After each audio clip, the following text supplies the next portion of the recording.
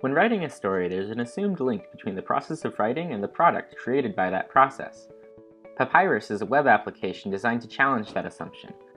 We cut the link between process and product by creating an environment in which user experiences with either side of the story making process are polar opposites.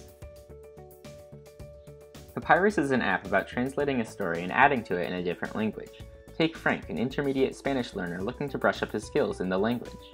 Frank can search Papyrus for an in-progress story written in Spanish in his favorite genre. He can then translate the latest portion of the story and add his own extension to the plot. Frank submits his addition for other users to add to. To Frank, the stories in Papyrus are collaborative experiences that help his communication and language skills. But Papyrus is also an app about attempting to read the unreadable. Take Abby, who's decided to view a finished story on the website. Abby navigates Papyrus's library of finished works and happens upon the same story Frank added to.